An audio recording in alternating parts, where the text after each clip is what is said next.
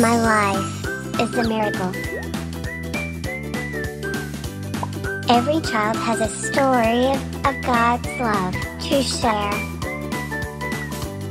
Shalom World, tune into God's love story.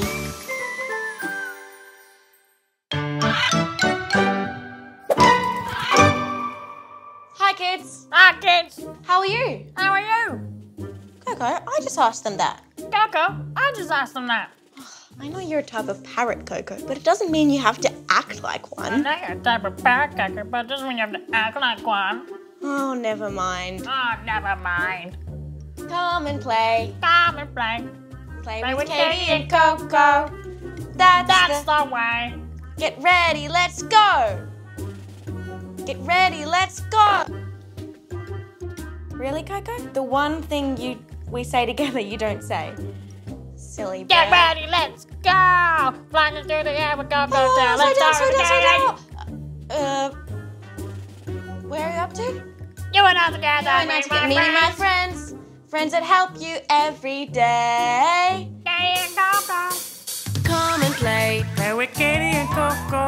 That's the way. Get ready, let's go. Flying through the air with Koco.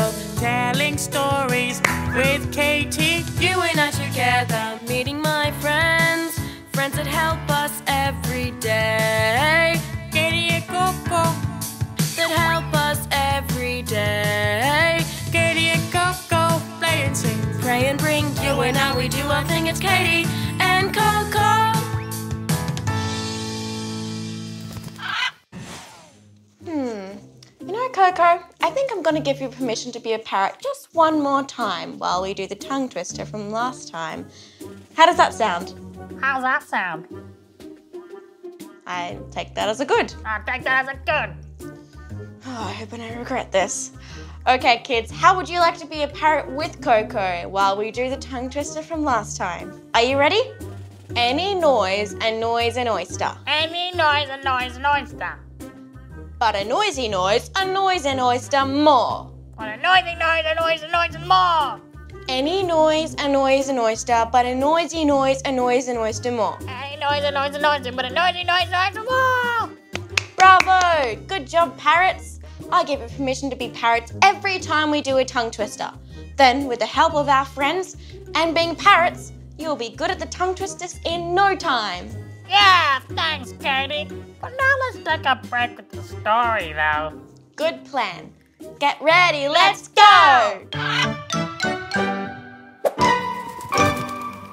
Koco, it's time to study. Koco, it's time to study. Koco, it's time to study. Oh, he's not listening at all, is he? Can you help me? Ready? We're gonna we're gonna call him together. Koco, it's time to study. Okay, I've got an idea. Koco, I've got some crackers. What? Crackers? What? Uh, see, we all have people who tell us to do what sometimes, don't we?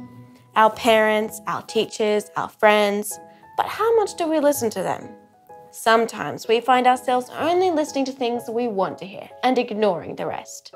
Like, you might listen to your mum when she says to come and eat dinner because you're really hungry. You've been waiting and waiting for dinner to be ready. But then later on, when she tells you to get ready for bed, you take a bit longer to do what she says because you want to stay up longer.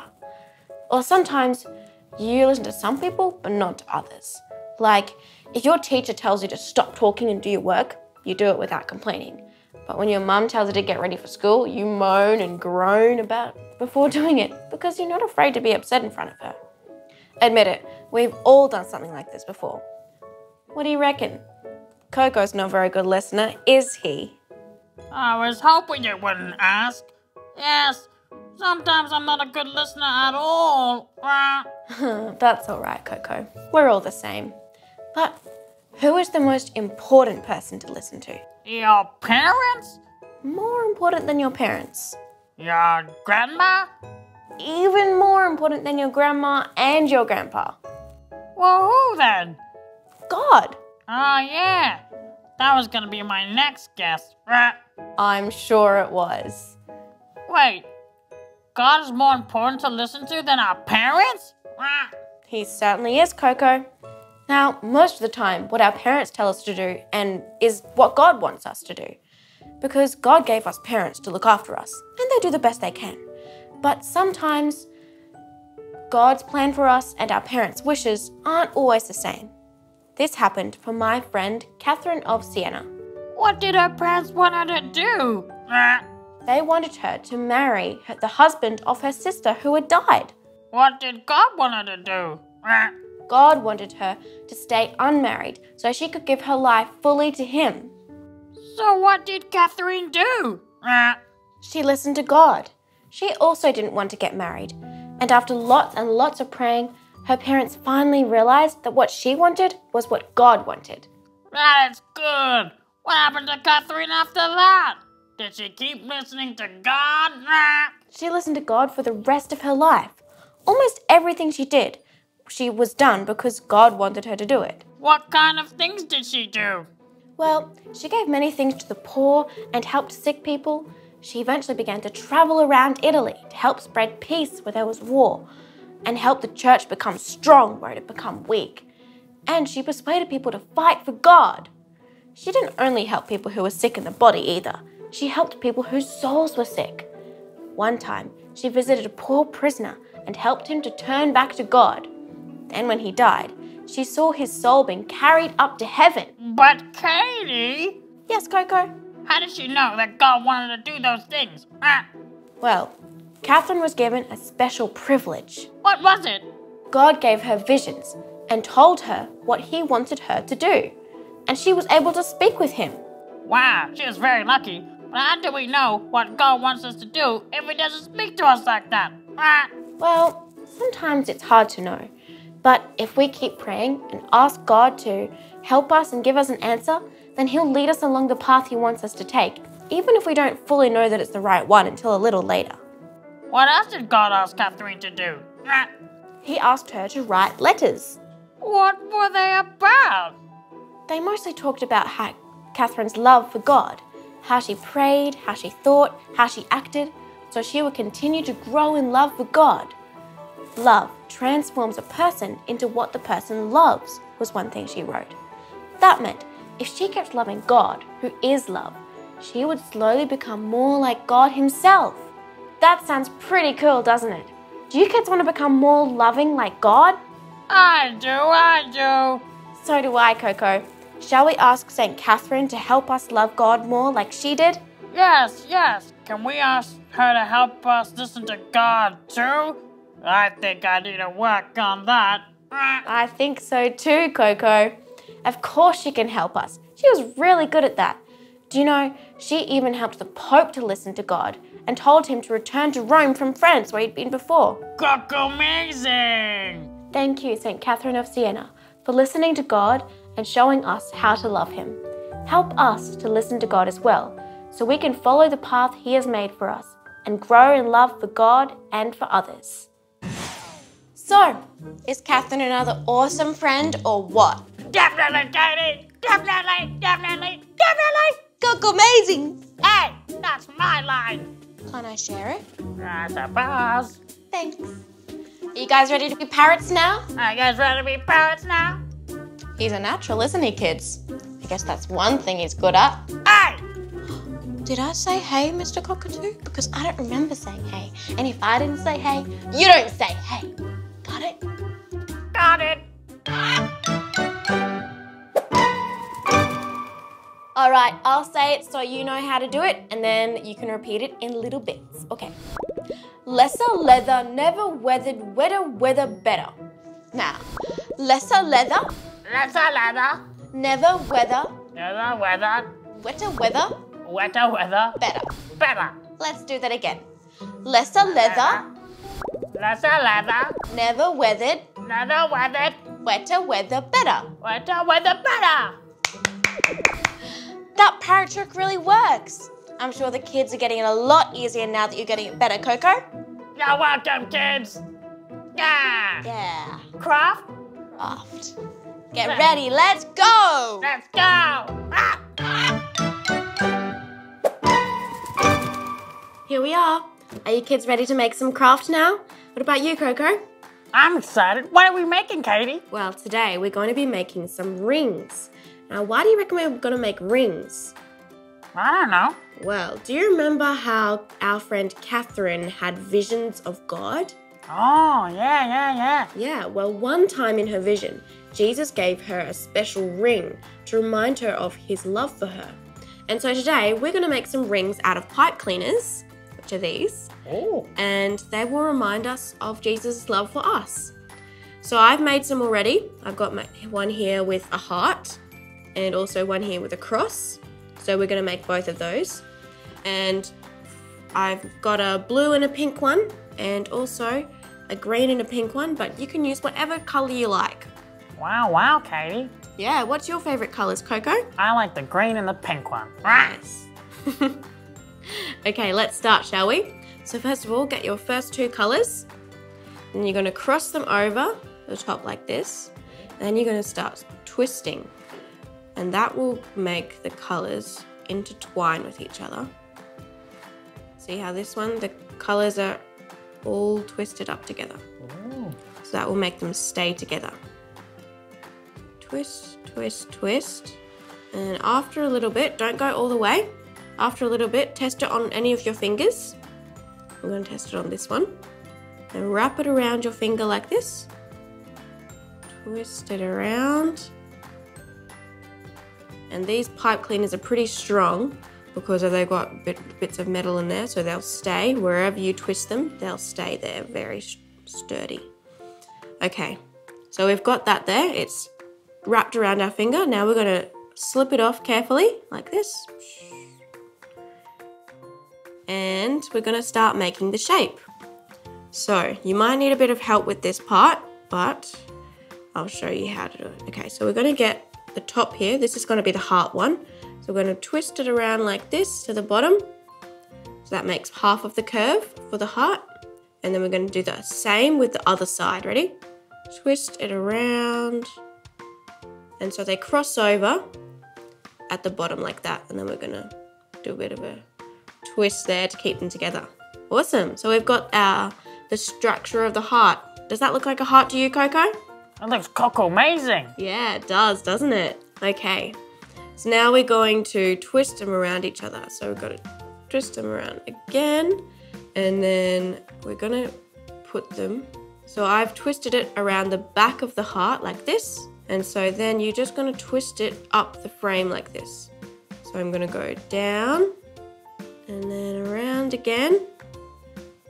Keep twisting around it until you get to the top. And so we've got one half of the heart. There we go. And now we're going to do the same on the other side. So we're going to twist it across the two sections. And there we go. There is our another heart. Then you can put it on your finger like this. And then you've got a heart, a heart ring. And it reminds you of your love for Jesus. Oh, nice job, Katie. Yeah, thanks. Think it'll So- fit on my finger? Ah, well, too bad you don't have any fingers, Koco. Aww. Maybe, maybe on one of your little little toes there, Ah. or uh, or on one of your bit, bits of crest up the top. Okay, so there's our heart. This one was a bit smaller. Um, now we're going to try the cross. Okay, so we're going to start out the same. So we're going to get them to cross over at the top, and you should be pretty familiar with this part now. Twisting them around like this, and then maybe a bit more. You might not need to do it for this long because your fingers might be a bit smaller. So I'm going to test it on my finger again. Twist it around and twist it to keep it secure and then twist it off again. Oh, this one was a bit tight. Let's twist that off. Awesome. Okay, so now we're going to start making the cross. So we're going to start with just one. So we're going to bend that downwards and then bend this one the other way. Okay, so that's it's pretty long now, but just wait and see. And this way, back again, the other way. And then we're going to do the same with this one. Back again this way. Now we're going to do back again this way, except when we do it, we're going to get it in the middle where it joins here. And then we're going to twist it that way. So it goes across, so we get the arm of the cross. Then we're going to do the same for this pink one. Twist it back again this way, and then get it at the midway point, and then twist it across for the other arm. Does that look done to you, Koco? Yeah, you're very good, Katie. Yeah, your arms, the arms must be pretty long. So we're going to twist it around the back this time, so we can keep these two bits together. There we go. Twist it around the back. So that was around the back there. And so now, look, our arm is shorter now. And then we're going to do the same for this one. So twist it across there. And then we just got these two last bits to twist into each other. So we're going to twist that back on itself. And then this last one again, twist it across this way. There we go. And there we have our cross. It's a bit a bit of a fat cross, but that's okay. Any cross is nice. And then you can put it on your finger again. This one might fit on my pinky better. There we go. We've got a cross. Oh, Koco, amazing. Koco, amazing, I know, right? Now we're going to remind us of how Jesus died on the cross because he loved us. Very nice. So there's all our pipe cleaner rings inspired by St. Catherine of Siena. And so we can have rings like she did. There we go. And so here are all of our rings. Ready? I'll put them on, see how they look. Here we go. Do you reckon they look good, Koco? They look Kocomazing, Katie. Yeah.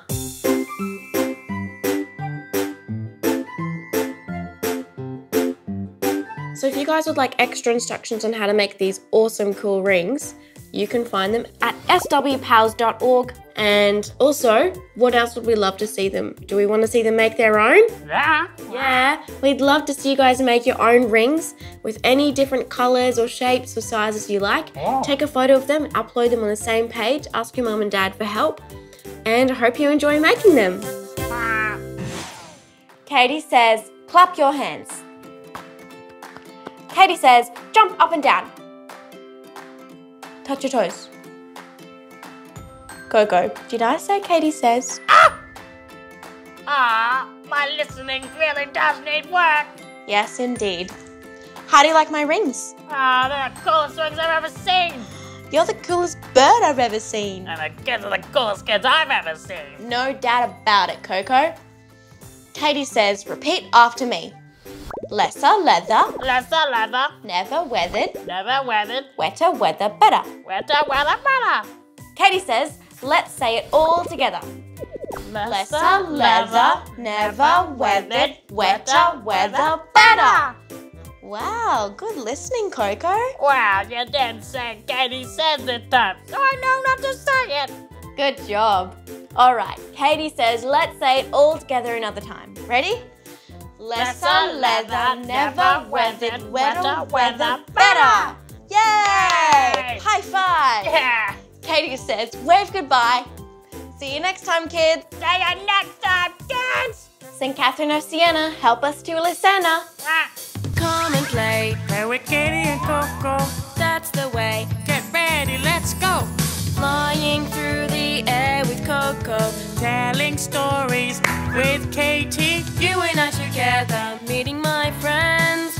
Friends that help us every day. Katie and Koco. That help us every day. Katie and Koco. Play and sing. Pray and bring you and I, we do our thing. It's Katie